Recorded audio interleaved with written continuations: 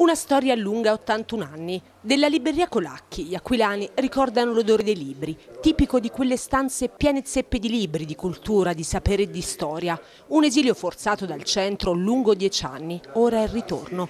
Non più a Palazzo Picalfieri, zona dove la ricostruzione è ancora molto attiva tra camion e gru, ma in uno stabile a pochi passi dalla piazza. L'insegna però è la stessa e ogni nuova apertura in centro viene accolta come una festa. Ci sono tanti saloni all'interno della libreria, un'area per le letture dei più piccoli, un piano interrato e un secondo piano, tante stanze, tanti luoghi che saranno messi a disposizione anche degli eventi culturali cittadini, come presentazioni di libri o mostre. Una storia d'amore iniziata tempo fa e che ha passato la mano di generazione in generazione.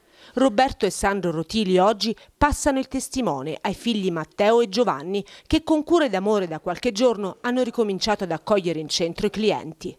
Dobbiamo guardare sicuramente al, futuro, anzi il futuro diciamo è adesso, quindi ci stiamo attrezzando in tutti i modi possibili, anche ampliando lo spazio attuale. Avremo infatti stanze per le conferenze, per qualsiasi evento, mostre, quindi ci daremo da fare insieme a mio cugino Giovanni, ci diamo da fare, ci daremo da fare per eh, aiutare anche la città a riprendersi nel migliore dei modi. Io credo un 40-50 mila credo all'incirca e questo è importante avere, anche diversificare i titoli, cioè non è importante la quantità ma la qualità dei testi.